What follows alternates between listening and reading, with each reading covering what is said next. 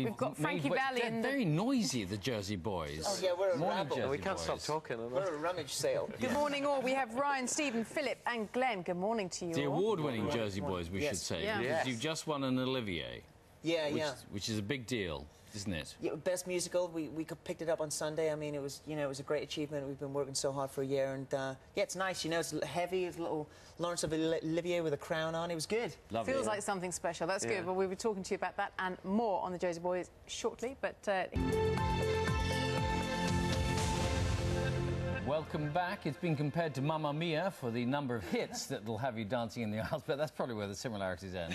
Uh, Jersey Boys has proved it's in a league of its own after winning the Laurence Olivier Award for Best New Musical. yes, and as you said, not for wearing lycra. The production, which celebrates its first anniversary tomorrow, traces the life of 1960s group The Four Seasons. They wrote all their own songs, invented their own unique sounds, and sold 175 million records worldwide, all before they were 30. Well, we'll be speaking to our Fab Four Men uh, playing the talented artists in just a moment. First, here they are playing The Four Seasons.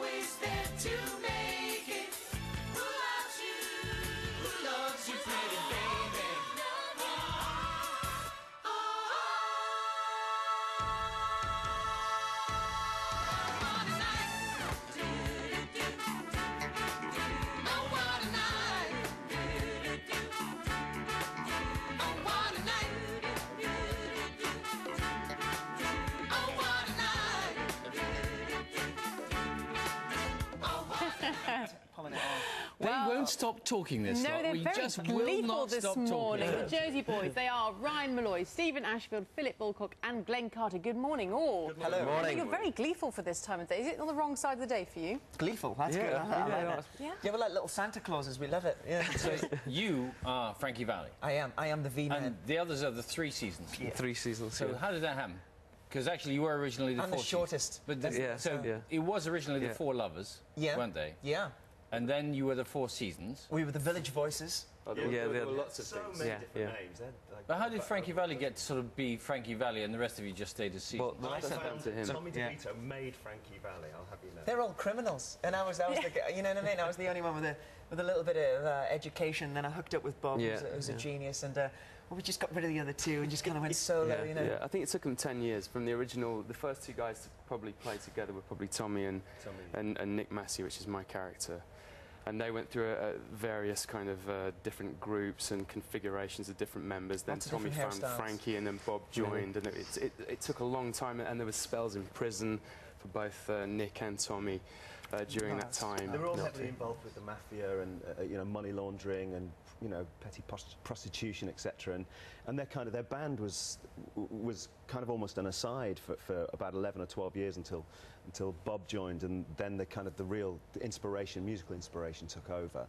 And uh, the, the show that, that we do shows all of the, the nitty gritty of the of their life story, really. I mean, the way it's advertised is very much um, looks like a, a bright, spangly musical, which it is in places, but it's also a very gritty story, which is mm. which is mm. what interests us more than anything, I think. Mm. And how did you each get involved? I mean, you're all fairly, if if it's fair to say, sort of West End veterans, really. I mean, you've played, we were just saying, you've what, Frankie Goes to Hollywood, you've played the Frankie, Rod Stewart. I'm putting together a Frankie collection. Yeah. I'm looking for Frank Sinatra next. That really be the, the cherry on the pie. But, but so how did you each, you know, just very briefly, get, get, get into, into this, the Jersey Boys? 'Cause it's such a success. Yeah, I mean, um, I mean, I was a, I was a musician for a while with, with RCA, and then and then I got into musical theatre by um, doing Taboo with Stephen. Mm, yeah, we did Taboo together, uh, the Boy George story. And uh, but before that, I was a classical singer, uh, and that's how I kind of got involved in musical theatre. But uh, I think we were all just, we'd heard about Jersey Boys over on Broadway, and uh, uh, when we knew it was coming over, we just were all called in for meetings, and, And it all worked out. The, the Broadway production team have been very heavily involved in, in your productions, is that right? Oh, yeah, yeah, yeah. It's the same production And have team. you, uh, Frankie? He's, have you met Frankie? He's, um, does he Yeah, have- yeah, yeah. I've hung, I've hung out with the Frankie and I've hung out with Bob. You've hung out with Frankie? Oh yeah, yeah. I, I hung out with the Wow. B-man. It was good. It was Yeah. good. You know. Where did you hang? Uh, you know, we, we hung out in New York for a little while, had a little lunch. It was good. You know, he told me, he told me some secrets. You know, he told me how to blow dry the hair correctly. Really, how do you blow dry the hair? Oh, you, it's got to, it's got to be out. It's a secret, out it's a and out. Yeah. His best It's a very Italian way He's still it. touring, is that right? Yeah, he's still going, and, and uh, uh, I think it was um, last year. You know, he had a bit of a um, he had a bit of a sickness, bit of a heart problem, and went in, you know, and then and then jumped out of bed and went straight back out on tour. Managed to you know get divorced in the meantime, and then you know, I think he's you know. can't stop Yeah. doing it. Yeah, Yeah, but we, he's- wo- we, an One thing, one thing that sort of people do look very closely at when British actors play American characters is, is the accents, and your accents are very specific, aren't they? Yeah, it's New So, Jersey, New yeah. Jersey, etc. So, did you get a lot of coaching for that? And do you have? How do you Yeah. nail that? Yeah, we had a great uh, dialect coach called Stephen Gabis who came over from America, who deals with all of the Jersey Boys companies around the world. And uh, yeah, he's very, very specific uh, about, you know, even the differences between Brooklyn and, and, and Yeah. New Jersey. And, Yeah, and he was 'cause it- just literally, and he, what he actually does is he speaks to you in your own accent. So he would speak to me in, like, in a Glaswegian accent and then take it from there to New Jersey. So it's, it's an amazing because process. actually it's a different challenge for you as opposed to for you guys, and particularly you. It's, it's weird. Gabis looks like Mrs. Doubtfire or something. You know what I mean? yeah, that's, right. but he, he's, he's, a, he's, a, he's a lovely man. Let's take uh, another listen to you, Olivier Award winners. Let's listen. You're just too good to be true. Can't take my eyes off of you. You'd be like heaven to touch. I wanna hold you so much. At long last, love has arrived, and I thank God I'm alive. You're just too good to be true. Can't take my eyes off of you.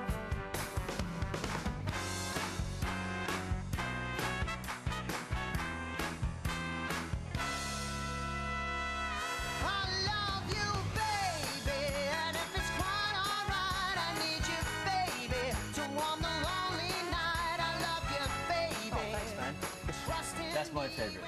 Is it? Yeah. It's mine too. It was my favourite as a kid. I remember growing Yeah. up singing that. But weren't there two Yeah. phases of the, the four seasons? There was the sort of late 50s, early 60s, and then there was a lull, mm. it seemed to me. And then they came back, I remember him, he came back with the stubble and the longer hair. Is that right? Yeah, Bob had a great, like a Yeah. like a huge weave at one point with this beard, looking like I'm, yeah, yeah, El I'm glad they didn't, they didn't make me have that hairstyle on the show. You look like Starsky. Look, look at Oh, there's the original. Oh, there, there, there they go. Yeah.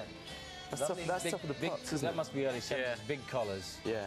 1971, 1971. you see big collars. Making your mistake. Oh my God.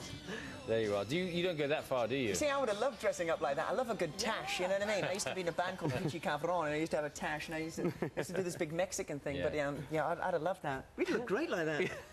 How was long Joe you get Long and Charlie with the show for? yeah. We're, we've just we've, we've just um, committed to another year because we uh, we all get on really well and it's a great show, you know, and it, the, it, it's such a fa- fantastic script and a great storyline that th- these sort of parts don't come along very often for actors, certainly actors that are kind of working in the music theatre. So it's great for us. So we've all committed to another year. So hopefully Everybody's the up show on their feet having a good dance at the end. Yeah, I mean, I think, Yeah. and I think as well the first year was very much kind of, uh, you know, the work of getting the word of mouth around about the show, and I think the second year now we're going to reap the benefits of people having come in the first year. And It was tough with the Seeing New it's a Jersey great boys. show. No, nobody really knew what it was, you know what I mean? Especially in this country. And, Yeah. you know, being on Old Compton Street, everybody thought we were like four strippers. But I mean, you know, let's, let's wear it off now. And- we're glad to have set the record straight. We do we We're do having- work I think we should get together and try and do Mamma Mia meets the Jersey Boys and see we, we what could like come- verse them, you know. And, There is an idea. Um, we've got to leave it there, but really good to see you. Thank you very much indeed. Have a great day today. Uh, we'll- Robert Wagner's here tomorrow. Marvellous. Yeah, We'll amazing autobiography and many romances. See you tomorrow. Bye-bye. Very interesting book.